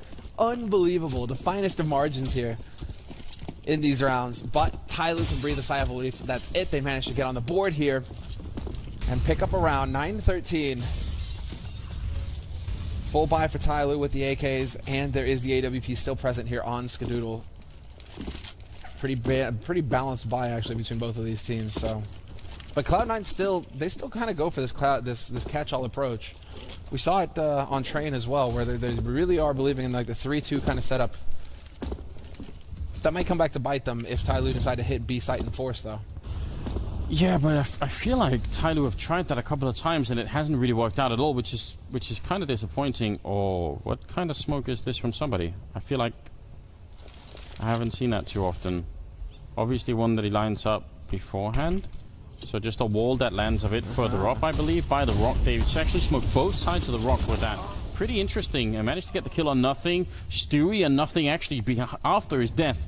Still able to pick up the kill on HC with the Molotov and Stewie hiding at the edge of the smoke. We saw this earlier from Heroic as well. Can he get the timing down right? Almost shut down. And the Molotov is near as well. Stewie is no longer... Yeah, still a 2-on-3 here, favoring Cloud9. What is this madness? Shroud alive at Big Stone and somebody trying to get the access to the site. Bentet is the one who's got the bomb, however, and so somebody has to come over here and help out his mate. Bentet has to cross out into the open, and they have no utility left to make this easier. And sure enough, shot in the back. Automatic and Shroud, each picking up a kill. And Tyloo, it was a short-lived joy, Anders. You know, they pick up one round, but just like that, Cloud9 are right back into it. Oh, man. That's agony. Just enough damage. The HE Molly combo. Yep. Slow down inside of the fire. No fun at all. Ah, this must be the last time out called here by uh, Peacemaker. Yeah, I mean, why not? The problem is Lu don't really have any money here, but at least they have uh, they have the timeout. They are uh, buying a UMP on DD. They're going to buy in this round. All or nothing? Or it's just DD? Uh, what's happening? Where's the rest of the team buying? Oh, not like this. No way. Okay, they're I guess DD's going to be the one. No, no, they no? are. They're just, they're just doing it very slowly. That caught me off for a moment. I was like, this can't be a, this can't possibly be a plan, and it wasn't. Thank God. All right. Um, yeah, they don't want to fight for overtime. They want to they want to try and see if they can come back right now. I don't think this is a bad choice. I mean, if you're Lu, it's, it's certainly a risk, and they have been having a really hard time getting onto the B bomb site. But once again, they're going to lose the fight against nothing. He's sticking around, which is way too bold. There's no reason to, but he's going to pick up three kills. Could have just done with the one. That's going to strike deep in the heart of Lu now. How can you come back in around two versus four? Tech 9 and the UMP. Yeah, bold indeed. You're right. A total lack of respect there, hanging around after the first kill. That's nothing though. With the confidence, to saying it time and time again. Sometimes it comes back to bite you, but in this case, nothing. He can feel like he did his job. Two-man advantage now for Cloud9. And Tyloo, well, they have a minute left to work with. They have the UMP, smoke and flash on DD. So he's going to have to be the man of the hour here. But the rotation already coming here from Cloud9 towards that A site. They're going to have that extra man in connector. And this is kind of turning into the B site defense where they want to shut it down if it is the push, and then it'll turn into the retake on A if Tyloo decide to wrap over there. So again, Cloud9 kind of covering the bases here. More time literally burned off the clock. Yeah. 35 seconds. Tyloo just, they don't have the equipment to make a breakthrough right now. The only way you turn around like this in your favor is if Cloud9 make a big mistake and don't set up crossfires. And with the bomb down, it is most certainly done. He's got 20 seconds and he's going to be going down to Skadoodle.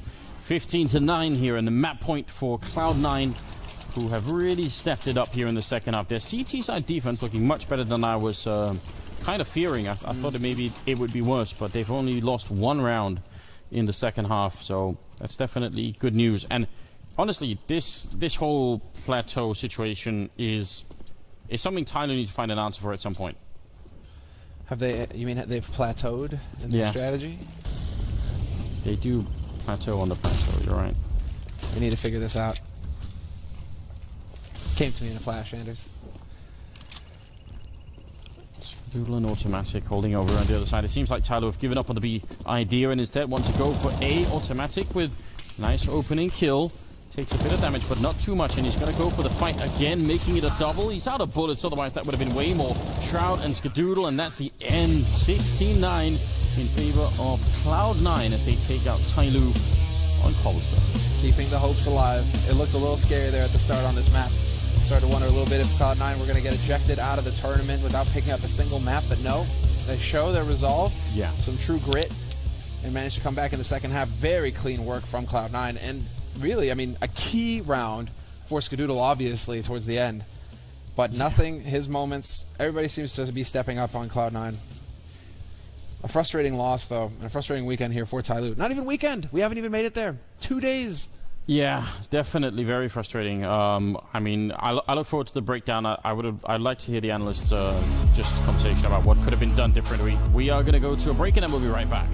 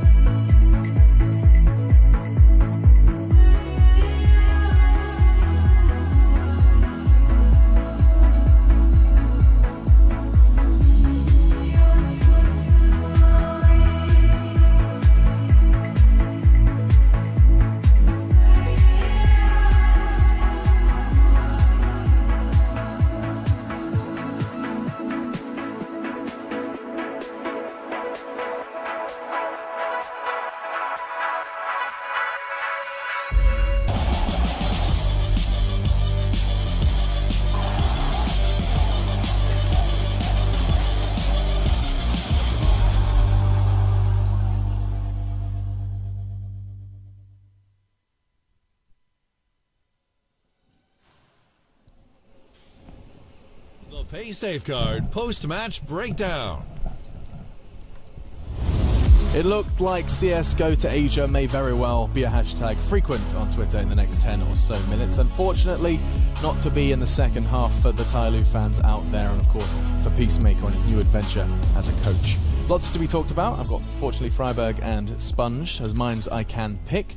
And this is going to be a lot of fun because Cloud9 do continue. They will still be present at ESL One Cologne. Tyloo, unfortunately, are added to the pile. We do see them joining Virtus Pro. Two teams already eliminated in the group stage. 15th, if you will, as they are going to be eliminated. But still, perhaps some signs of light at the end of the tunnel. We'll find out what Chad has to say. Opening thoughts. Let's focus on that first half where we did get to see some degree of a, of a real competition. I guess, first of all, that's the expected result. So we're not shocked by this No. one in any means. But the shocking thing was the way that Tyloo started. They actually looked really good. They were very assertive in the way that they were approaching the game, making all their frags. Bentet ag- again, you know, he was having a lot of impact, even though a lot of them were probably ecos.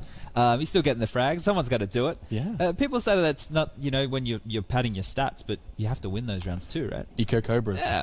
Um, and, and then they did try to do a B long control where they uh, smoked off the entrance. They threw a Molotov, but this, the stack behind the box with the AWP from Skadoodle, they pushed up, and it looked a bit sloppy from my perspective anyway. And they got picked off, and then from there, the, the Cloud9 ball kind of got back into it. They stabilized, showed their skill, and were able to find Pixel across the board and uh, punish Tyloo. Punish Tyloo. Cloud9 really kind of, especially in that second half, really showing what they're capable of. Skadoodle is a name that's perhaps at the tip of your tongue, Adam. Yeah, I mean, I think you played great even yesterday against uh, Navi, but now, I mean, the the last round in the first half, the the 4K did, and even like the Yeah. last guy for, for Shroud, which was on low HP already, uh, managing to, to win the round for them. And I mean, it just kind of shows. I think uh, Skadoodle is a player that when he gets comfortable, when he gets you know in the zone, we can really see him now hitting amazing shots. And uh, I mean, that that round was uh, that was amazing. Um, so I think I think Cloud9 is still. I mean, they're they're in the tournament still. Uh, they're probably gonna play uh, another team. I guess they're one two now. One, two, Um, yeah. So I think I mean it's still their their life is on the, uh, the last line or what to say. But uh, I still see great CS from them. They've had tough games. They've had uh, NIP, which is Yeah. looking great, and uh, also lost against Navi. So Yeah. I mean, uh, bring them maybe if they're an easier matchup now in the one two match. Uh, we might even see them actually going to It, play do- it still. does get quite exciting when you Yeah. see Skadoodle firing on all cylinders because I mean you said it before after his train game right he's playing 2017 Counter Strike and uh, perhaps He- showing he- what he's capable of Yeah, he did have. He still had impact, right? We saw that round that were there, and Yeah. he was making other frags. It was more like on the CT side, it was the frags were going in the way of the, the four other players. Really, everyone else was making the kills they needed to, and they were leading the charge. Especially uh, Jordan, he was up the top of the frag count, I think. So it's good to see everybody being able to do that and, and just Yeah. make sure that they're holding their own zones. Out of the two teams now that were 0-2 and now 1-2, Heroic and Cloud9, I think Cloud9 have the better opportunity based off what you were saying about the results they've had so far. So that they have a bigger chance of potentially doing the reverse sweep Right. than what I would say Heroic does. It is uh, something we discussed before, but it's one of those very much, uh, what's the word? I don't want to say impossible, but highly unlikely scenarios. That reverse sweep in Swiss is just, your competition is only going to get more and more difficult as you battle for that three, magical three in the win column. Now, word on the street is Stewie has been throwing out some words on social media. We can check in with his tweet. What's he, what's he been spitting? Apparently, there is some uh, tweets. Although, yeah, that's cool. You see him shouting. What was he shouting about, though? Um, Could be uh, anything. He had a tweet. No, doesn't Could matter. be a mystery. Yeah, we, I mean, maybe maybe he had an interview with Stunner as well. You know, is- uh, word on the street is he chatted to Stunner. Let's check in with Stewie. That's what I've just tried. Let's jump on in. What's up, guys? I'm here with Stewie2K, coming off that victory over Tyloo, 16 to nine. Congratulations, first and foremost. Let's talk about the slow start though on T side. What happened there? I don't know. They just got like five Asians. We got two. They're just so quick. But but uh, honestly, I was kind of lost on T side, and Tim stepped up a lot for us. And his calls on T side were definitely better than mine this game.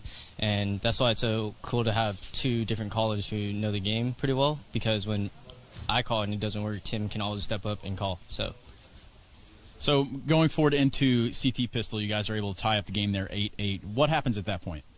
Um, well, when we win pistol, that's when we get going. So once we won pistol, we got our confidence up, and Tyler's hitting shots, everyone's hitting shots. We're all making plays, we're all doing things well. So once that happens, it's kind of hard to stop us when we have a really strong CT side. Well, you're talking about Scott hitting uh, shots. How big of an impact did he have in this game? Well, you can see this whole tournament when we're down uh, 2v5s, 2v4s. He's just hitting shots, bringing it back, bringing it into 1v2 scenarios, 1v1s, which is pretty good favoring us when we're down 2v5. So I'm sure everyone's seeing that glimpse of 2015 Scott, so hopefully he's coming back. He's coming back. That is indeed true. Well, that does it for us here. Congratulations again, Stu. Catch up with you guys later. 2015 Ska is on his way back. So storyline we'll be following as Cloud9 continue to battle for a spot in the playoffs here in Cologne. But outside of that, Tyloo eliminated, we should probably remind everyone of how the current standings do look, and of course, what we have to look forward to coming up as well. Um, already Heroic have played their game. There it is. You can see now these are the guys in the 2-0 category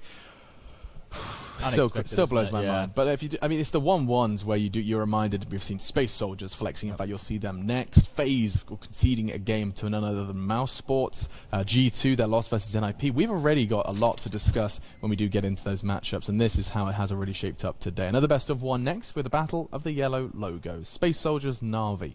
And I'll leave Chad with the final words as to why you should join us after the break. Space soldiers taking on Navi. What do you make of it, Chad? Uh, outbreaks are cool, and uh, space soldiers uh, on the rise with with the boys from Xantares and Calyx Yeah. having a good impact. I like what I've seen uh, from th- from them as a unit. I know that Adam's been saying their strategic approach is going to catch teams off guard, and that's definitely what's happened so far.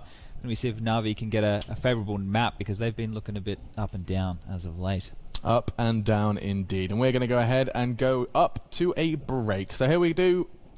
Off we go. Let's just get take outta a here. break. Space Soldiers now is Yeah. up next, yeah. Fucking shit show.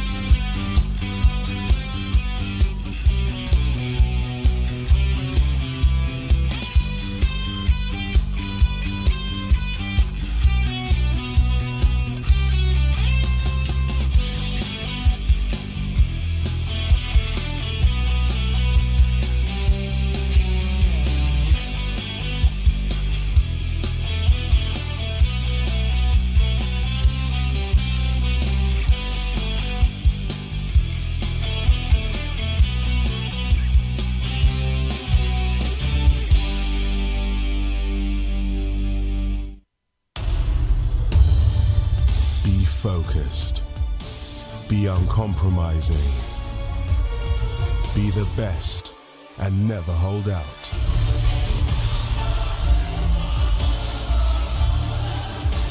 Pick your event. Place your bet. No matter who you are or what you're here for, it's our passion that unites us. Betway, for the love of the game. It's what you've been waiting for. These guys are on top of the world, and it's all done. Astralis win it. IEM champions. It's Astralis. They want the trophy and they've got it.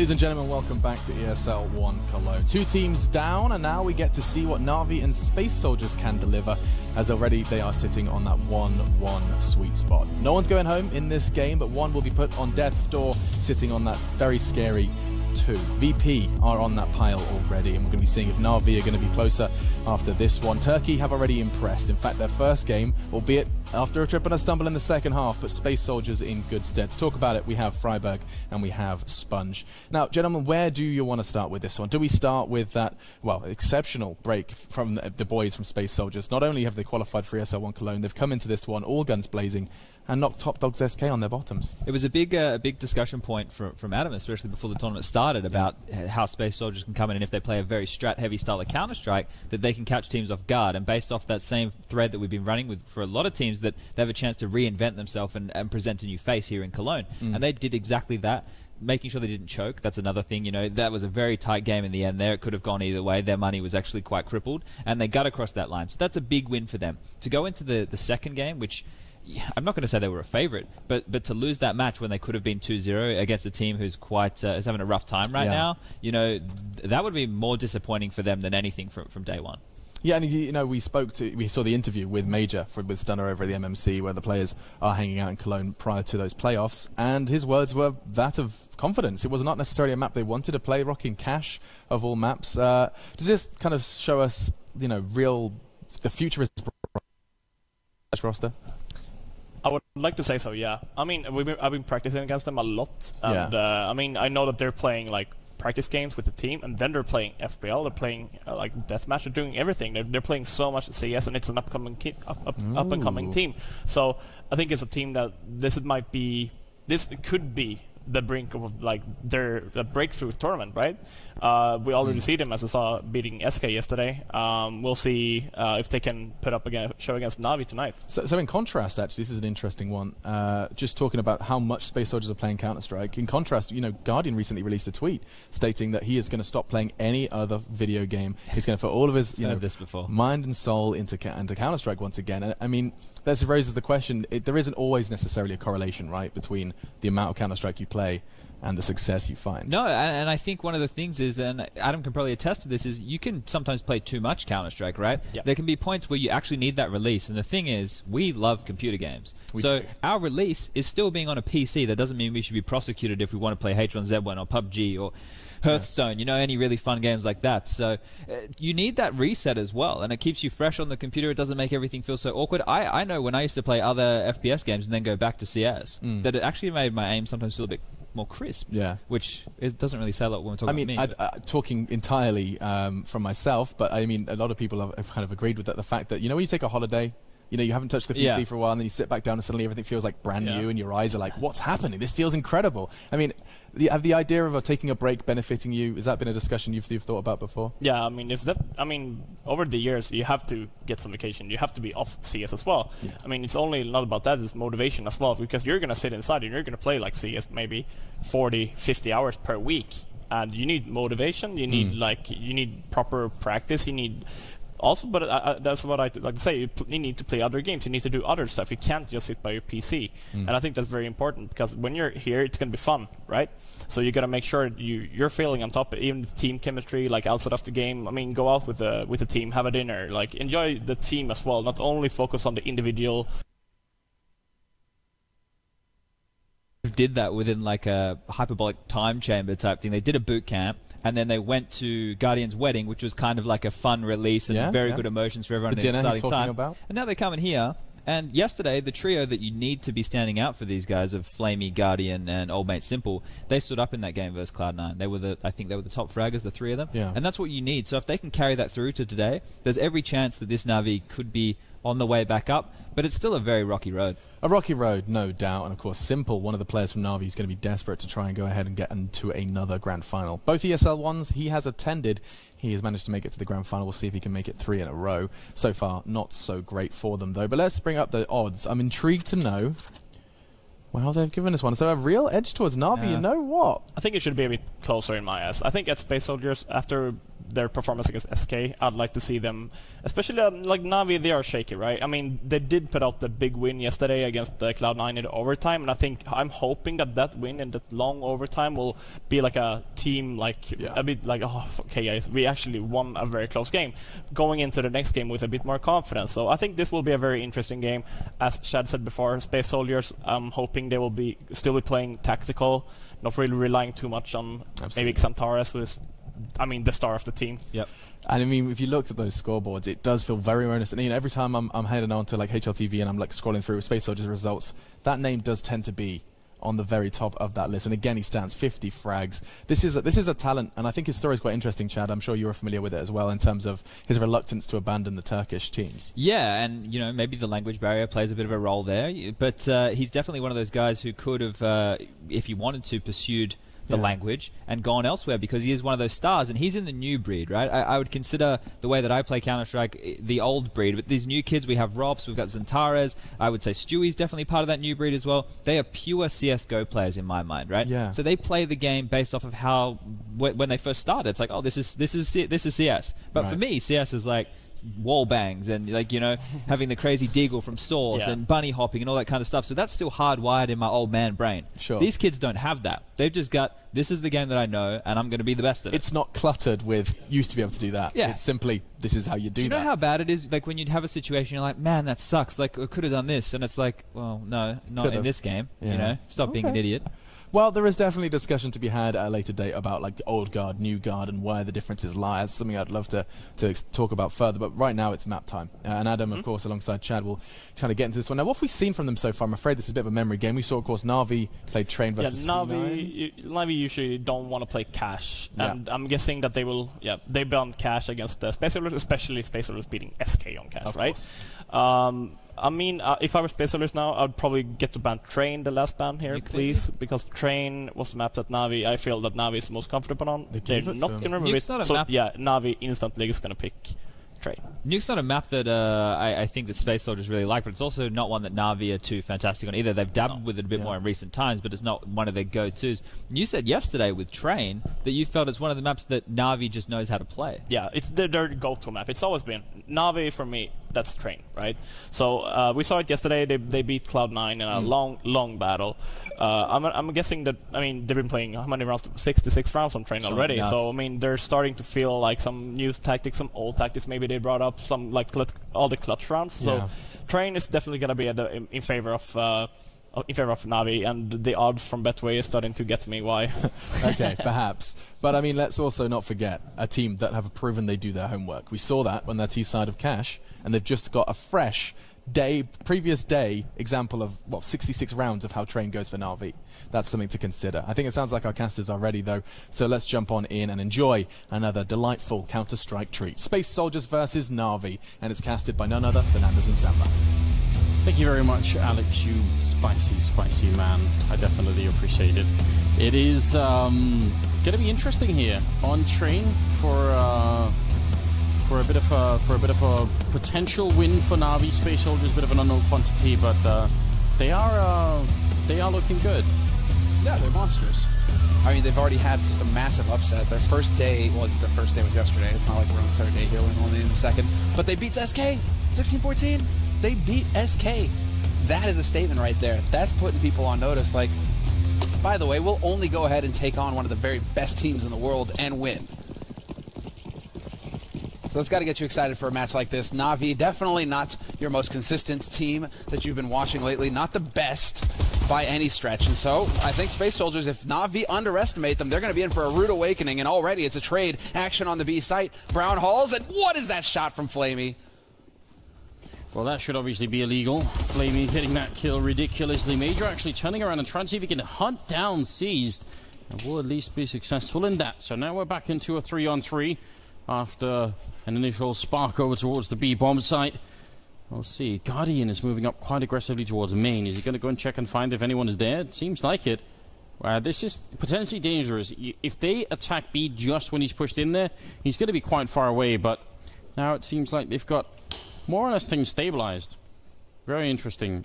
Yeah, and plenty of time left as well. It's not like they're pressed here. It's not like there's 20 seconds left and they're going to have to make a snap decision. They can take their time, walk around the map. 50 seconds left, and uh, things are looking up here for Space Soldiers. They even have that USP on the man himself. Is he going to hit the headshot? There's a little bit of the jiggle peek, and he walks right into it, but somehow Guardian misses the shot, but he gets the fade away. What? Right on Xantares as well. Oh, I was looking so good there for a second, but Guardian just had to ruin him. How do you even hit a shot like that? This is unbelievable. Calyx is going to be going down. Major, alone, one versus three, 20 seconds as well. At least he's stolen the USP and he had the grenade. He's going to try and fake it with 15 seconds left. It seems like such a mad idea. Surely Navi will be wise to this. Grenade is in, and they did actually rotate out a C connector, but he can't fake the bomb any longer, so he just has to plant. He's going to try anyway and gets run over by Guardian. Man, both flamie and Guardian need to be arrested for what we just saw in this round. Someone bring the Polizei, as they would say in Germany. It is Navi with a 1-0 lead after, I still think, a pretty brave attempt from Space Soldiers. And I really like the restraint. After the initial engagement, 3 on 3, they really try to slow it down. Thing is, Anders, Navi are the police. What are you going to do about it? Where is your argument now? Yeah. What do you call when, when, when it's the police that are after you? It's a good question. That's, uh, I mean, right now, that was disgusting. It looked possible for a second until that Xantares shot, and then things just kind of ground to a halt for Space Soldiers. And they go for the Force. That's to be expected. There is a little bit of eco management going on here, with Engine only investing in the Deagle. So something to go off of. They want to try and manage a little bit that money. Navi using quite a few nades very early on here, though, so now they're starting to get a little low on the utility. But a good spread here from Navi. Three on A, two on B, bit of a catch-all, not holding too close. One detail that I do like to see when you're dealing with an anti-eco. Do not want Navi being at risk of running into those pistols close up, the Tec 9s. You want to try and look for the long-range fights. Bit curious is the fact that Navi don't actually have any more grenades. I mean, in a round like this, I would I would try and have a Molotov or an HE or something if you're on the Navi side to stop the B plant. is hitting a kill. That's a big start. Pass got to follow it up, taking down Seized. And now it's a three on three. The bomb is going to go down as well. Almost a follow up kill. Edward very low on health after that. Sorry, s1mple after that engagement. Major and Xantares now three versus two. But that M4 on Xantares is Getting me a bit worried. There's one kill. Looking for a second and almost getting the one on Guardian, mm. who will close out the round in return and make sure Navi can win it. That's expensive, but um, at least they don't give it away. No, and it's good to see that Guardian he is starting strong here for Navi as well. Usually one of the key players here for the roster, but he's been a little bit on the rocks, a little bit shaky. Ever since s1mple joined the roster, it's felt like Guardian's kind of been looking for what is my role? How do I play this? How do I play around s1mple? A player who do who does actually require quite a bit of space, a lot of room to maneuver. But this tournament so far, yesterday it was one of the most insanely long best of one matches that we've seen. Navi winning 36 to 34 over Cloud9. But Guardian had a lot of good rounds in that entire match long. He was hitting shots left and right. And so if he can actually get on the on point here early on versus Space Soldiers, things may be looking up for Navi. Can't really call them the Ukrainian roster anymore. They're a bit more of the CIS mix. They've got it all going on, yes, that's for sure. But um, yeah, it's one of the one of the fun things about that region. I mean, they all sort of fit in. I think Guardian is the one who's had to put in the work to actually yep. learn Russian at that level, which is pretty cool that he managed to do it. Pass will take a kill there, dropping seized. s1mple gets the instant refrag, smokes up and tries to play the edge of the smoke. That's a bit of a mind game, but the boost from Calyx on the other side means he wasn't ready for it right now, Space Soldiers to me look like just an incredibly fresh team. It's actually just a lot of fun watching them play, Mm-hmm. Mhm. and um, they haven't even got rifles yet. So we'll see what they can do once they get to that part of the game. They've done some damage here to Navi. If they get one more kill, and that would certainly be big. Just in terms of making it expensive for Navi. But again, Guardian pushing A main, or pushing alley that time. No, it was A main. My mistake. Major was over at alley with the bomb. Guardian just trying to get aggressive, and I like that. You need to try and make some plays here to destabilize Space Soldiers, not let them get comfortable. Major with the P250 up close might be able to find some joy here on the B site. He is going to catch one man in the back at least. Just go for it. Commit. He's looking for more information. Not quite going to find it, but he could he could collapse back on the A. And yes, he does hit the shot on flamie. flamie, the heart attack, realizing that his back was exposed. But he saw the second player. That's why he's dodging it. Major's really playing positionally a really good game. And that's going to be... Oh, he cancels it for a second. Now he has to hold it down. He wasn't sure if the flank was coming in. He does get the bomb plant down. This is just a really big plays coming out of Space Soldiers right now. Three kills and a bomb plant in a round where you have absolutely no...